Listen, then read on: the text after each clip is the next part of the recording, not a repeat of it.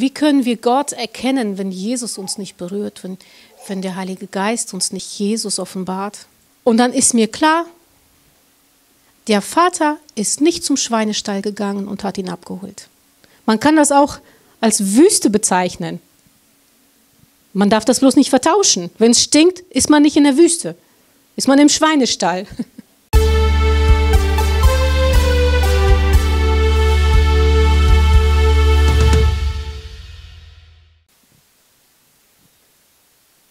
Ist das nicht ähm, wunderbar, wie Gott seine Kinder besucht?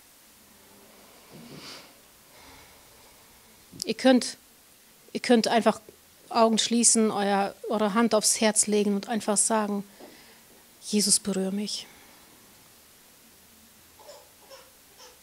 Denn wenn Jesus uns nicht berührt, wie, was soll da anders, was soll sich da verändern?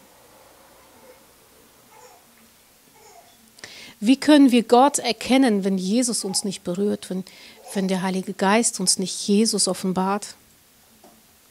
Und Jesus hat den Vater offenbart. Wenn, ähm, wenn ihr so ein paar Sekunden Zeit habt, äh, euch nimmt und einfach in euer Innerstes ein bisschen schaut und ähm, euch ein paar Gedanken macht, Entdeckt irgendjemand von euch ähm, Bereiche in seinem Leben, wo er sich Veränderung wünscht? Gibt's? Ja, viel. Ähm, ich habe so die Angewohnheit, ähm, aus welchem Grund auch immer, dass wenn ich sehe, wenn ich, wenn ich irgendwie mitkriege oder sehe, dass irgendein Mensch in meiner Nähe echt in Schwierigkeiten steckt, so richtig, wo es ja schlecht geht, dann habe ich, hab ich so, so ein heftiges Bedürfnis, da reinzukommen und ihn da rauszuholen. Besonders bei meinen Kindern. Weil irgendwie, da ist es, wenn ich merke, oh, irgendwie sind die irgendwo gelandet, da muss ich die aber rausholen. Hört sich äh, sehr fromm an, sehr gut an. Ähm, aber eines Tages, ähm, ist, das war so eine interessante Situation. Ähm, ich stand bei uns so in, ich bin aus der Küche raus und ich wollte nach oben zu, jedem, von, zu einem Kind von, von uns, weil irgendwie muss man da ja, man muss ja was sagen. Man muss ja irgendwie dem, dem Menschen oder meinem Kind jetzt ins Gewissen reden. Man muss, man muss ja mit dem Kind, irgendwie muss man das ja, irgendwas muss man ja machen. Ähm, alle unsere Kinder sind manchmal oben, da sind uns die flüstern, wer das ist. also, ja, die flüstern, wer das wohl sein könnte. Ja, auf jeden Fall, ich stand so zwischen der Küche und wollte Richtung Treppe gehen. Und auf einmal ähm, zeigt mir der Herr das Gleichnis vom verlorenen, vom verlorenen Sohn und eine ganz bestimmte ähm, Situation daraus bin ich, bin ich stehen geblieben. das war, das habe ich so noch nie gesehen und das fand ich sehr ähm, interessant. Und ich möchte, ich habe mir gedacht, wir lesen heute Bibel. Hat heute schon jemand Bibel gelesen? Dann machen wir das jetzt, wenn ihr nicht. Ähm, wir, lesen, wir lesen die ganze Geschichte von Lukas 15 von Vers 11.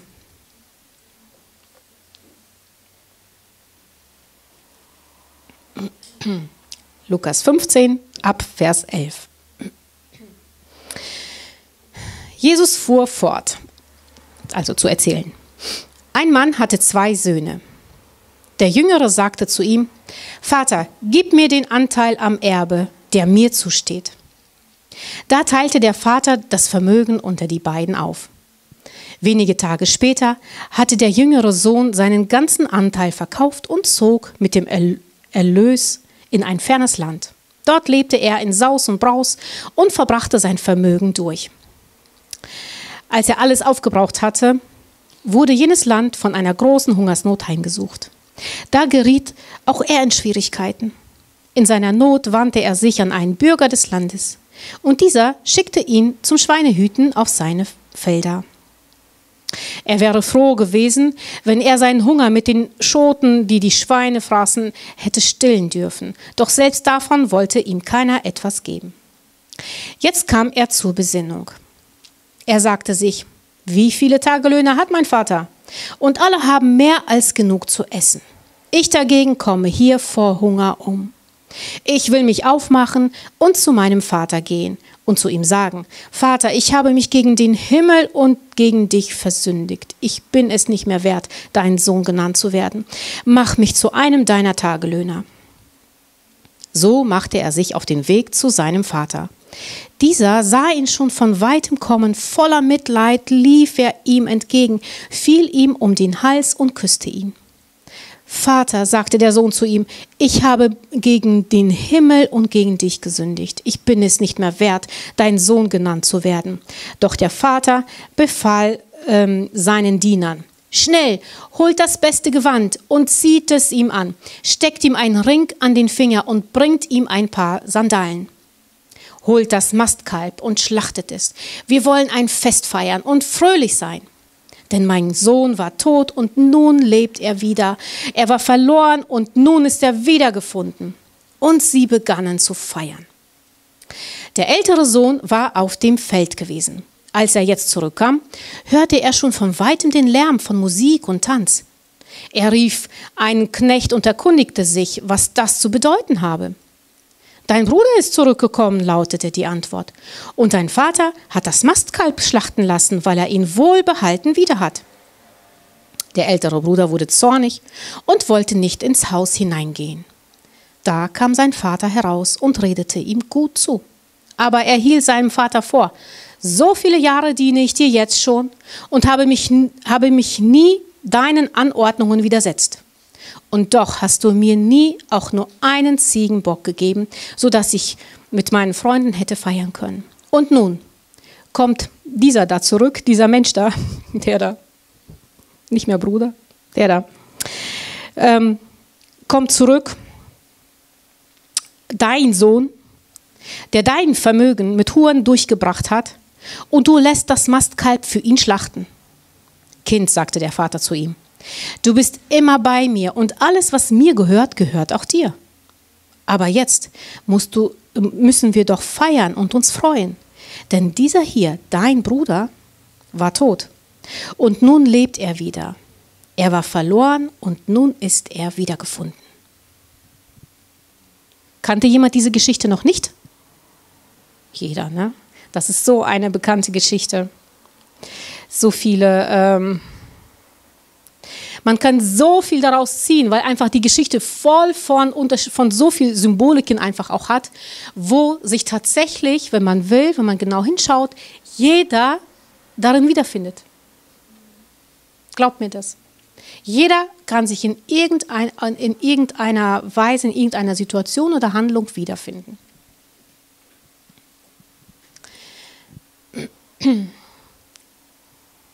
Zurück zu der Situation, wo ich zwischen Küche und Treppe stehe. Was mir, äh, was ich gesehen habe. Auf einmal diese, die, ja, dieses Gleichnis, was Jesus erzählt. Und dann ist mir klar, der Vater ist nicht zum Schweinestall gegangen und hat ihn abgeholt.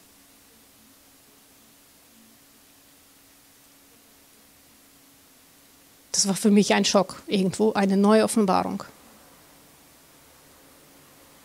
Der Vater ist nicht zum Schweinestall gegangen, da wo es ihm am schlechtesten geht sozusagen, wo er am Verhungern war. Der ist nicht dahin gegangen, um ihn da rauszuholen.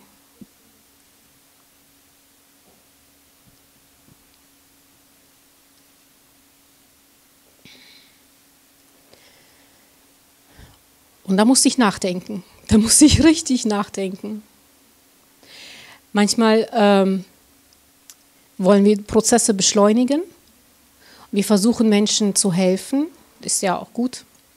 Und manchmal äh, warten wir nicht ab, bis der Mensch zu bestimmten Erkenntnissen kommt. Es ist wichtig, bestimmte Prozesse ähm, leben, zu leben, um zu Erkenntnissen zu kommen.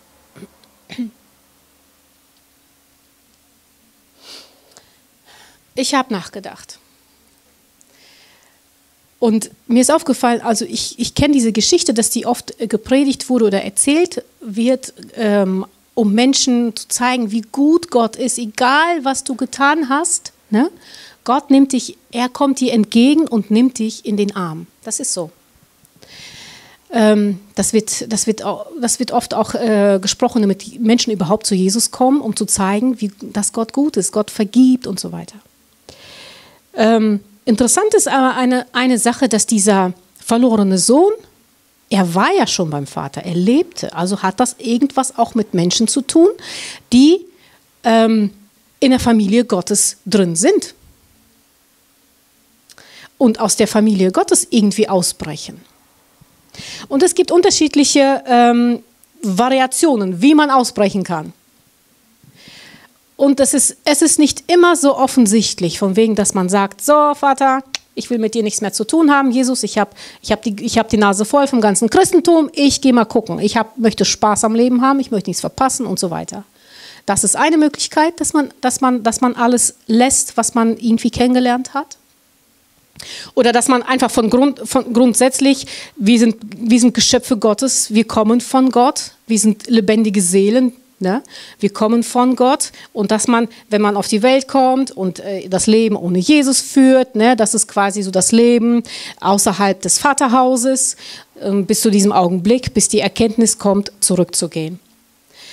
Ähm, mir ist eine Situation klar geworden, dass es durchaus möglich ist, ähm, dass Menschen, die im Haus Gottes leben, die mit Christus verbunden sind, die so viel wissen, was, was uns alles zusteht, welches Erbe wir haben, was wir alles in Christus haben. Und es, ist, und es passiert, dass wir, ähm, dass wir Christen dieses ganze, die Erkenntnis haben, wow, ich habe ja so ein Erbe eigentlich, was Gott gehört, gehört auch mir. Also ich kann das, ich kann mich damit bedienen, ich kann das nehmen und ich kann gehen. Und ich kann, ich kann ja damit wirtschaften. Warum soll ich, warum soll ich warten? Wenn man vor der Zeit sich Dinge, Dinge einfordert, das sind, äh, damit meine ich Gaben oder, äh, oder einfach das, was, was, welches Erbe wir durch Jesus Christus haben, ähm, die, den Zugang zu geistlichen äh, Gaben zum Beispiel, dass wir das einfach nehmen und ähm, damit wirtschaften auf unsere eigene Art und Weise, wie wir das für richtig halten, weil das gehört ja uns. Ich fand das, für mich war das ein etwas neuer Gedanke, aber der ist genauso wichtig. Dass wir bestimmte Zeiten erkennen, wann was dran ist. Wir wissen, dass wir ein Erbe haben von Jesus, das letztendlich ist es das Erbe, das ewige Leben. Und wir wissen, dass wir, ähm, dass wir im Himmel wirklich äh, Schätze haben, da, wo wir Zugang durch Jesus haben.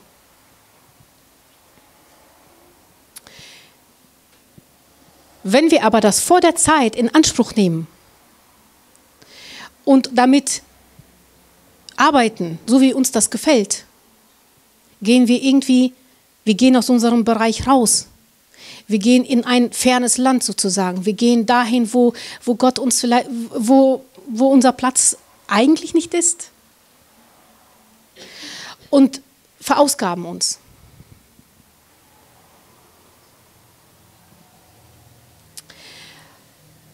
Ähm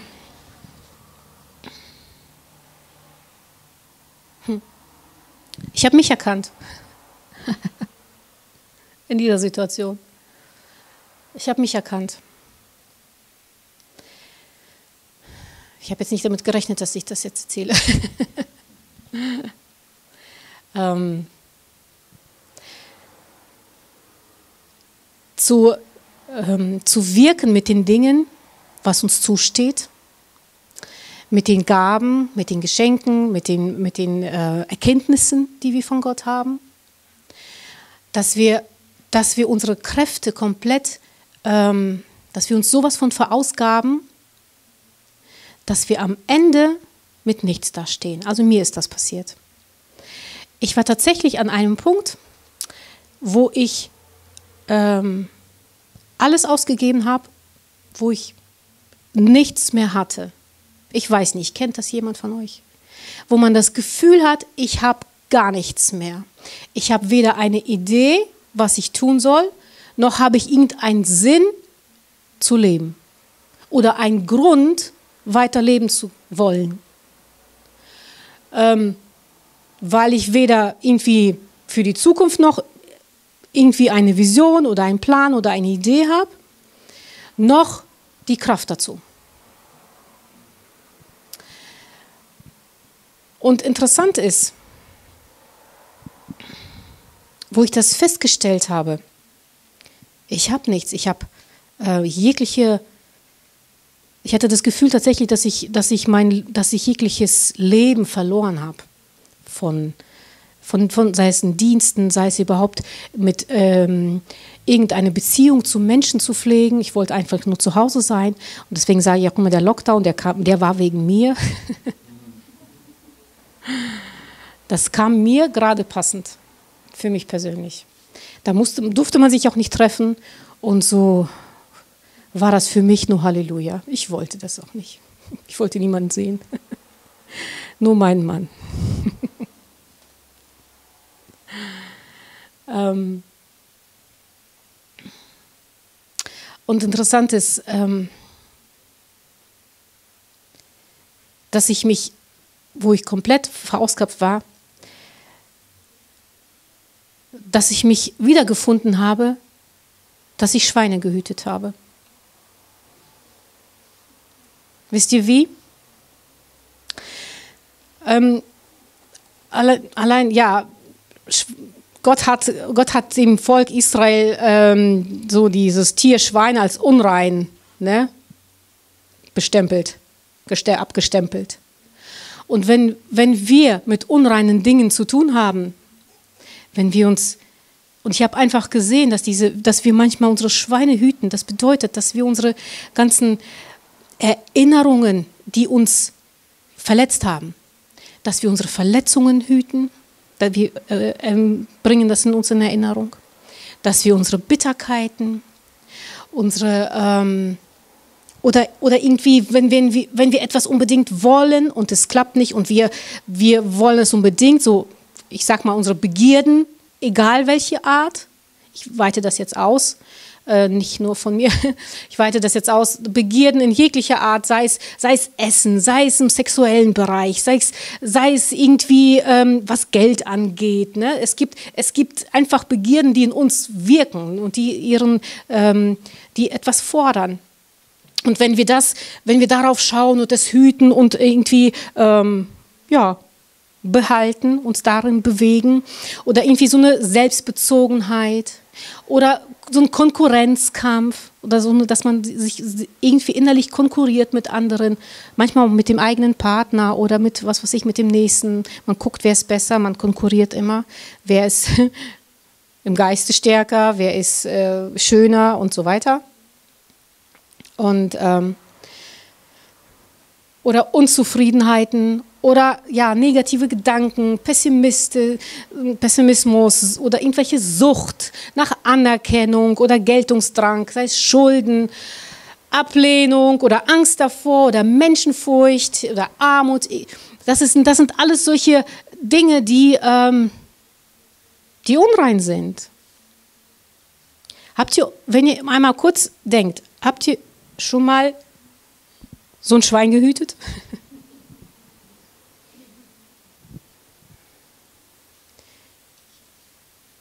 Ihr hütet das und das Schwein kriegt Nahrung, es wird, es wird fetter und ihr selber verhungert. Und ihr selber verhungert. Man wird immer weniger, die Kraft geht immer zurück und man ist einfach hungrig. Man hungert nach Leben, man hungert nach Sinn, man hungert nach Liebe. Und einfach, man will doch einfach raus.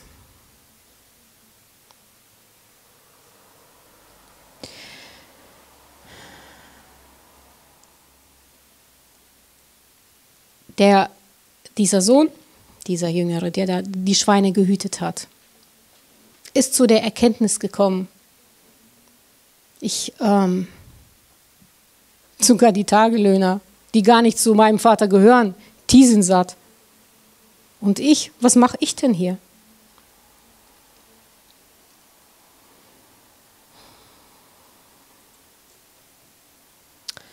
Wisst ihr, weil Jesus in einem Stall geboren ist,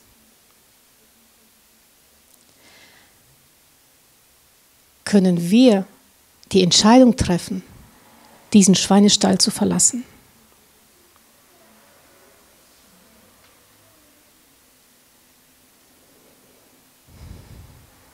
Das ist so tief.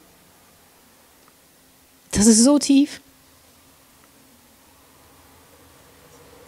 Wir sind manchmal so beschäftigt damit, unsere ähm,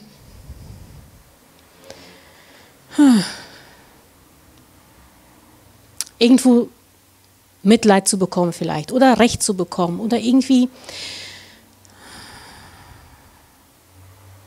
irgendwie was zu erreichen oder auch überhaupt Leben zu fühlen oder Liebe zu fühlen oder Würde zu bekommen. Dass wir, dass wir vergessen, dass wir einfach vergessen, wen wir hier eigentlich hüten und wo wir uns befinden. In dem Gleichnis ist der Vater nicht zum Schweinestall gegangen, um den Sohn rauszuholen. Aber Jesus ist im Stall geboren und Jesus ist die Tür. Und dadurch, deshalb haben wir die Möglichkeit, uns zu entscheiden und diese Chance zu ergreifen, umzudenken.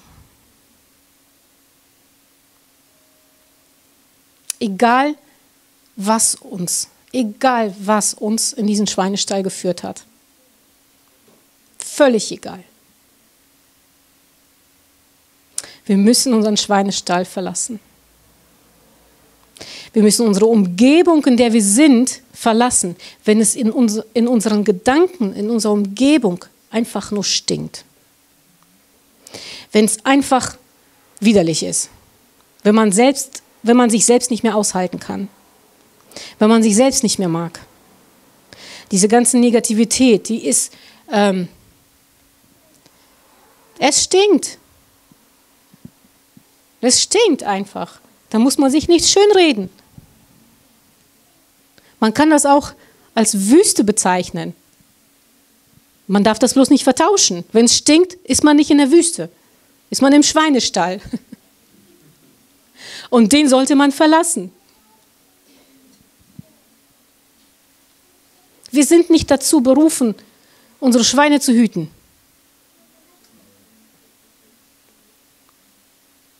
Wir sind nicht dazu berufen, unsere, in unseren negativen Gedanken zu kreisen und irgendwo zu, ähm, einen Ausweg zu suchen und sich selbst zu bemitleiden und dort zu gucken, wer, ähm, wer gibt mir Recht.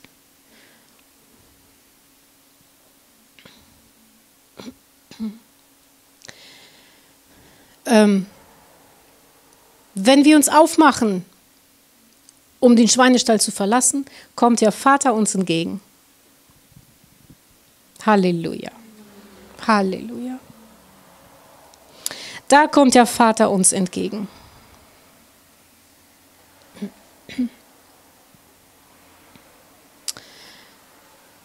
Es ist, es ist so ein Augenblick, es ist so eine, ein Moment, dieser Moment, wenn wir unsere Schweine verlassen, wenn wir unseren Schweinestall verlassen, wenn wir sagen, wenn wir genau erkennen, das, was ich jetzt hier hüte, behüte und, und irgendwie en, äh, ernähre, das ist nicht mein Weg.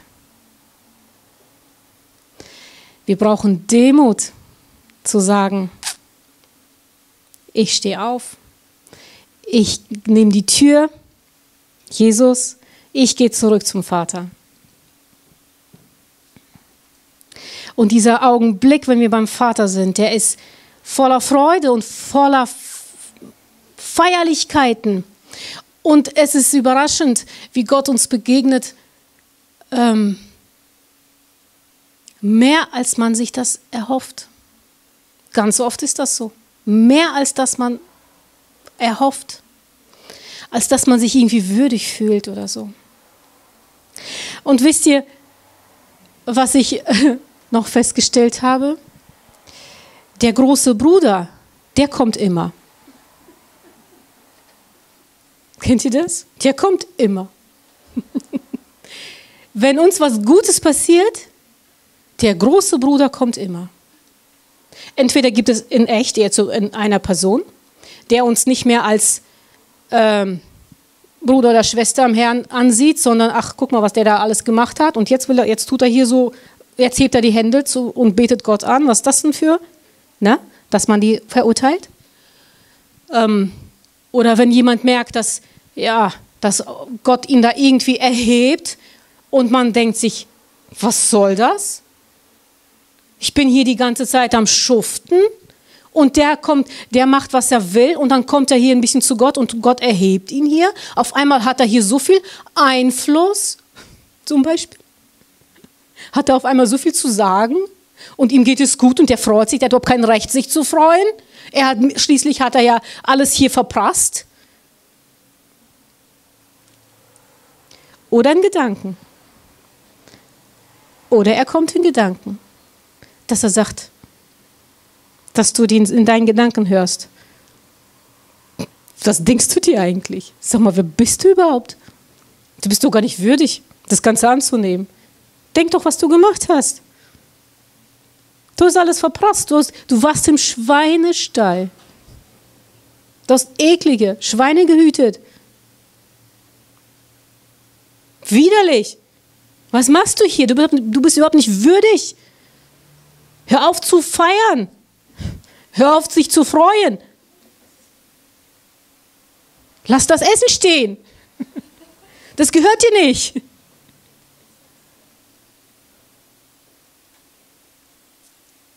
Da ist jemand, der uns das absprechen will. Die Würde, die Gott uns gegeben hat durch Jesus. Deshalb der große Bruder kommt immer. Amen.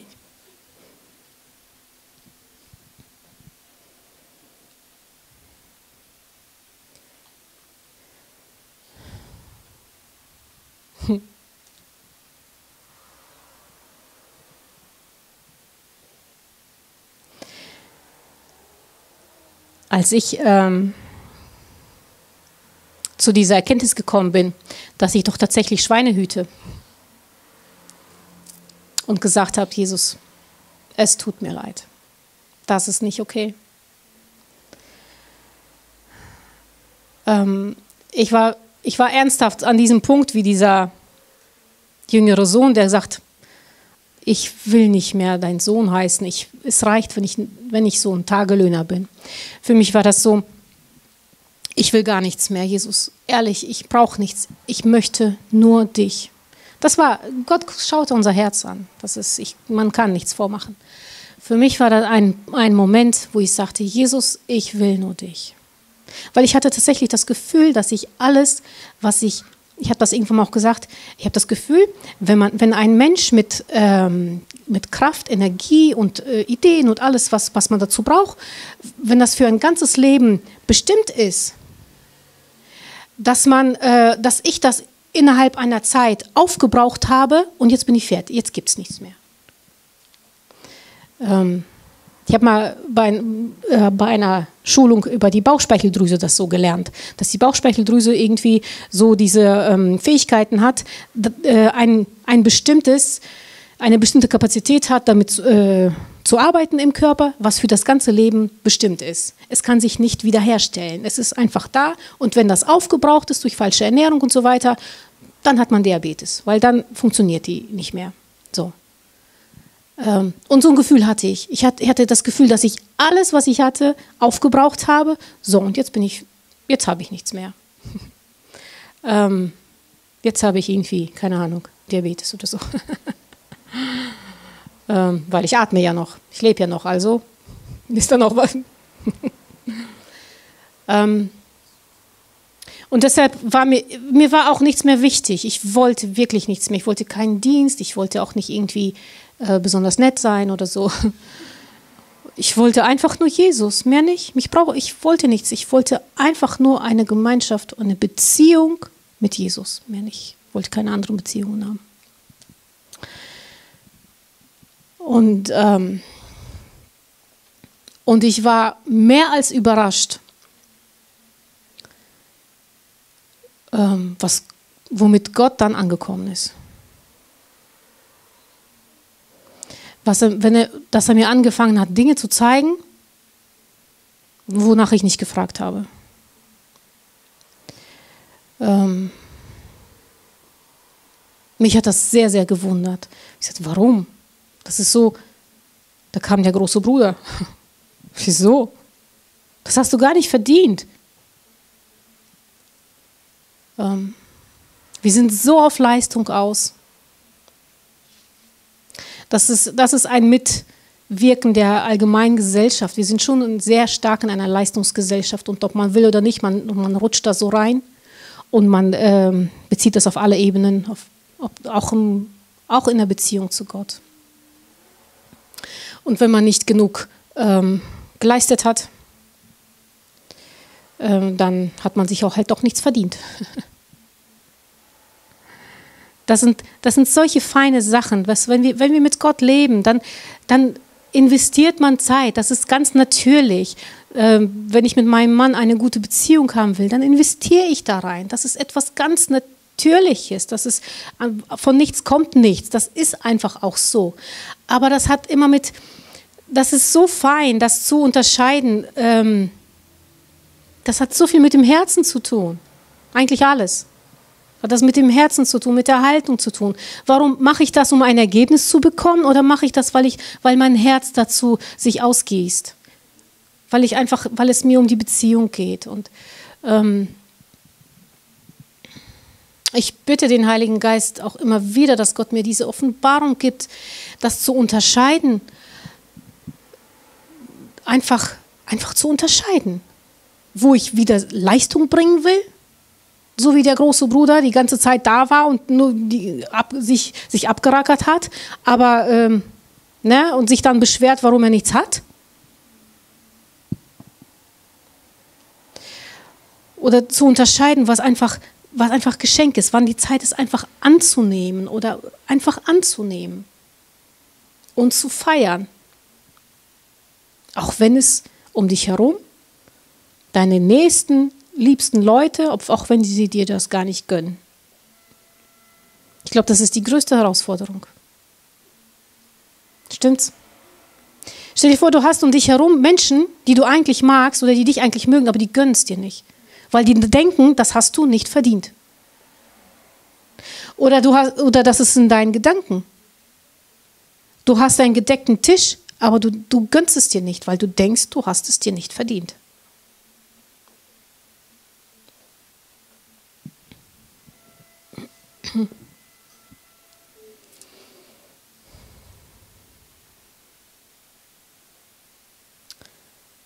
Ich denke, dass, ähm,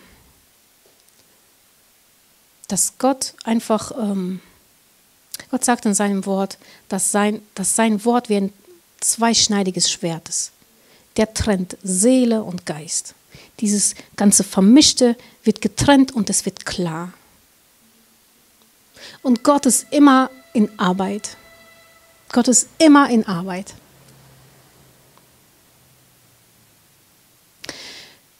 Wir brauchen den Heiligen Geist.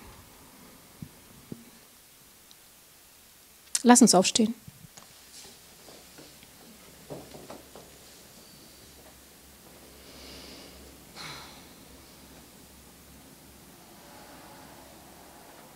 Heiliger Geist, wir brauchen dich.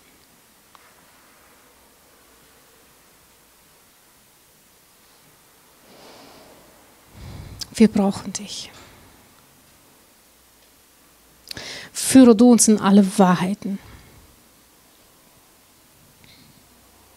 Führe uns in die Wahrheit.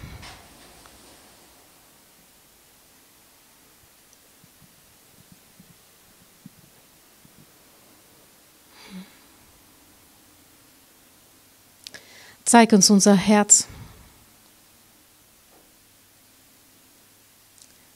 Zeig uns, wo wir Schweine hüten.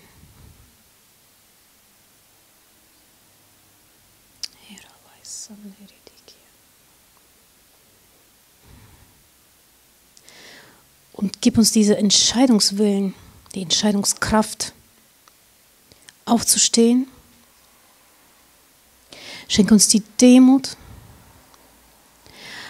aufzustehen und den Stall zu verlassen.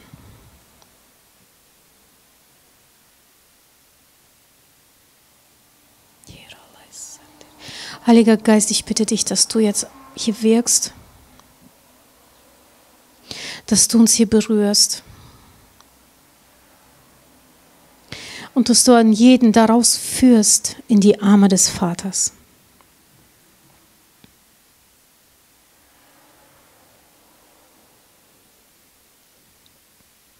Jesus, du bist die Tür, ich danke dir.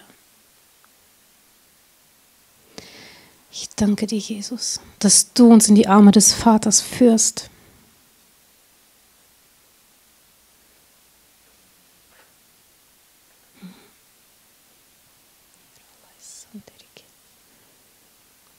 Lasst es zu. Lasst es zu, dass der Heilige Geist einfach wirkt. Gott liebt dich. Gott liebt dich so sehr. Er hat alles gemacht, damit du da rausgehst. Er hat alles gemacht, damit du feiern kannst. Er deckt dir den Tisch im Angesicht deiner Feinde, im Angesicht derer, die dir das nicht gönnen, im Angesicht deiner Gedanken, die dir sagen, dass du nicht würdig bist. Der Vater deckt dir den Tisch. Du darfst essen und fröhlich sein. Du darfst. Du darfst essen und fröhlich sein im Haus deines Vaters.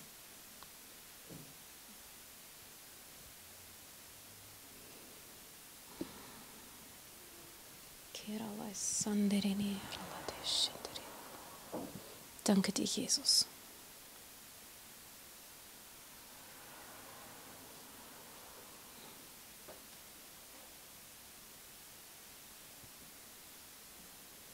Danke dir, Heiliger Geist.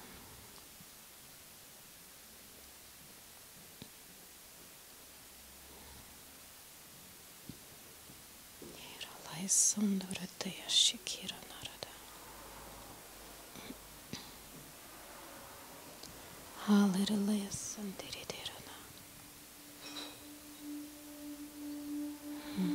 Danke dir.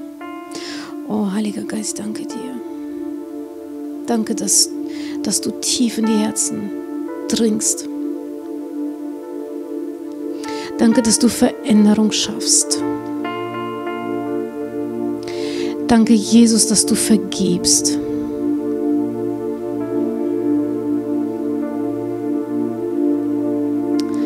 Danke für deinen vollkommenen Willen. Danke dir.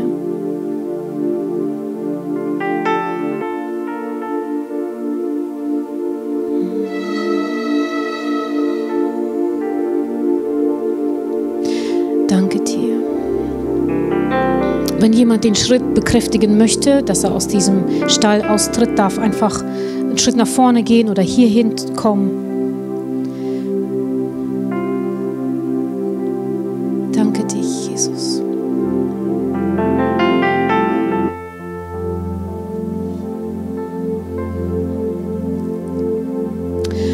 Heiliger Geist, ich bitte dich um dein Feuer. Ich bitte dich um dein Licht. Denn wenn dein Licht kommt, es wird alles klar. Wird alles deutlich und es kommt in deine Ordnung, in göttliche Ordnung. Danke dir, Heiliger Geist, dass du dass du hier bist.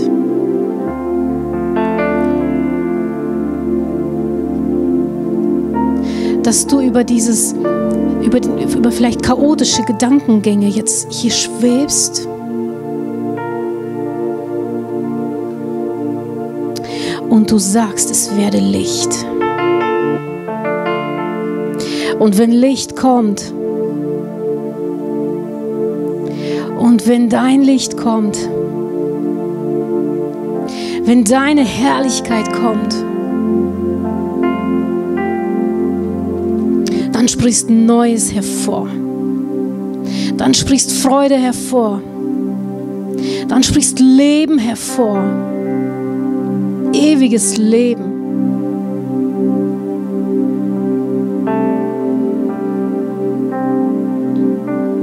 Danke dir, Jesus. Danke dir, Jesus. Danke dir für deine Errettung. Danke dir, Jesus.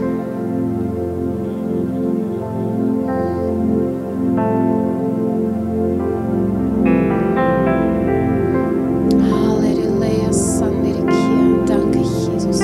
Lass uns, lass uns Jesus einfach an danken. Lass uns ihn anbeten.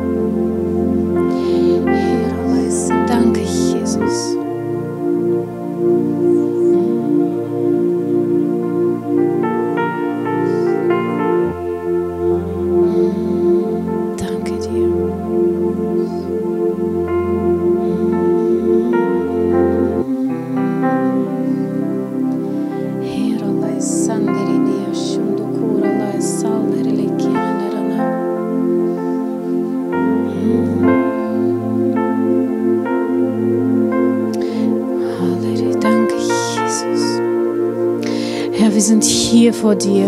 Wir sind hier vor dir.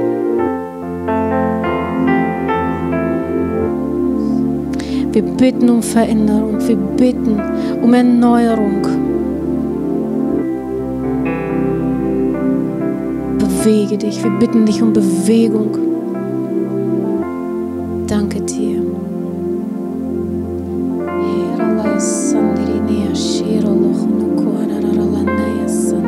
Danke, dass du jetzt tief gehst. Danke, dass du noch tiefer gehst. Danke dir, Jesus. Danke, dass deine Liebe so tief ist.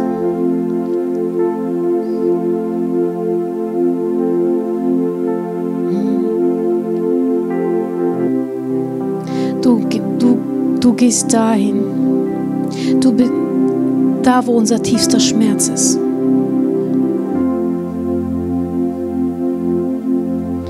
Da, wo unser tiefster Schmerz ist. Danke dir, Heiliger Geist, dass du dahin gehst und, das, und, ähm, und uns aufhebst. Danke für deine Heilung, die fließt.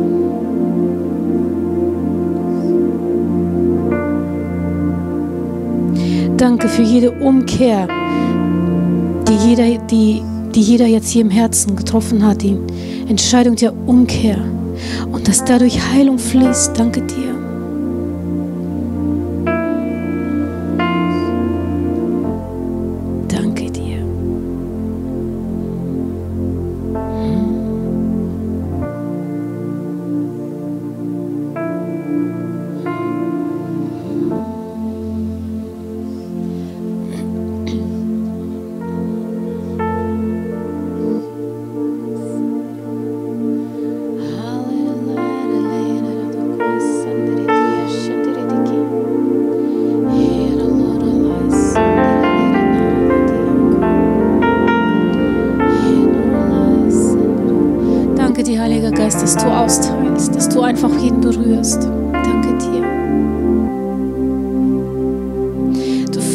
Auf neue Ebenen. Du führst uns auf die Höhen.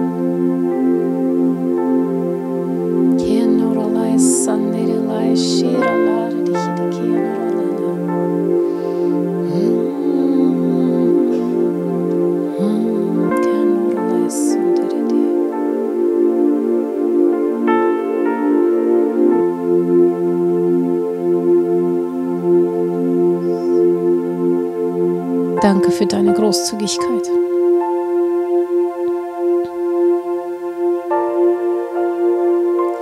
Wir beten Gott an in Wahrheit und im Geist.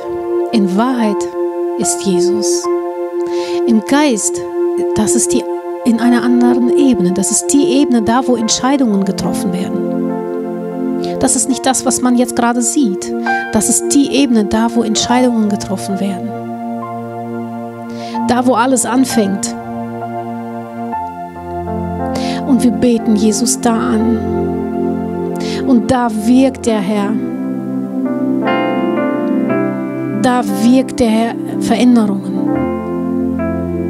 in Wahrheit und im Geist, in Jesus und in dieser anderen Ebene, im Geist. Da werden Weichen gestellt, da werden Entscheidungen getroffen.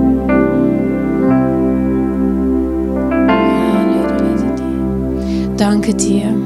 Oh, danke dir.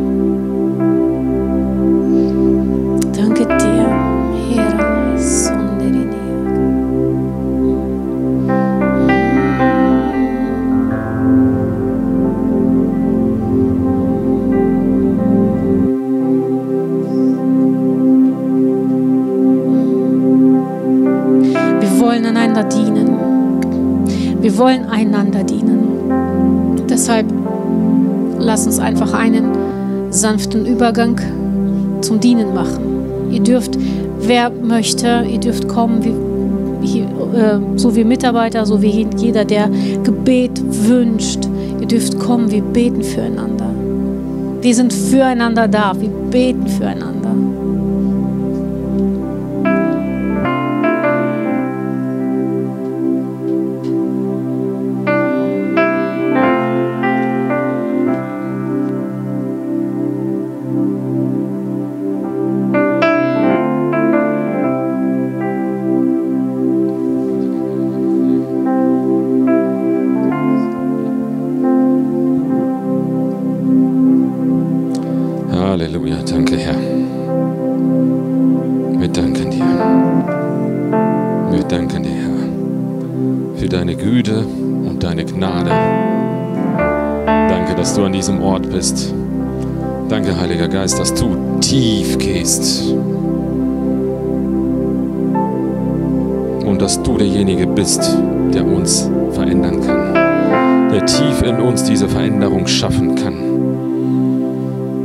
Dinge reparieren kann, die, die unreparabel scheinen. Diese Dinge kannst du wiederherstellen. Danke dir, Herr. Wir ehren dich, beten dich an, unser Herr und König Jesus.